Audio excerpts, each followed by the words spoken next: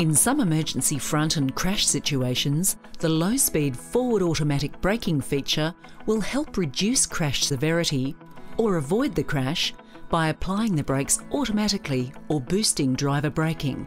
The feature uses a forward looking camera. When in forward gear, this sensor looks directly ahead to monitor vehicles you are following. When a vehicle is detected ahead, a green icon is displayed. If the feature detects the driver may be about to crash into a vehicle they're following, the driver receives an imminent crash alert. If the driver does not respond quickly, or if the situation quickly unfolds, the front automatic braking feature boosts driver braking or automatically applies the vehicle's brakes without driver braking. On some vehicles, the brake pedal moves when automatic braking occurs. The driver can override automatic braking at any time by pressing the accelerator or braking. When stopped, the driver can release the brakes with the electronic park button.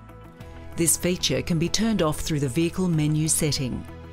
The low speed forward automatic braking system works in forward gear and operates between 5 and 37 miles per hour or between 8 and 60 kilometres per hour. On some vehicles, it may operate up to 50 miles per hour or 80 kilometres per hour.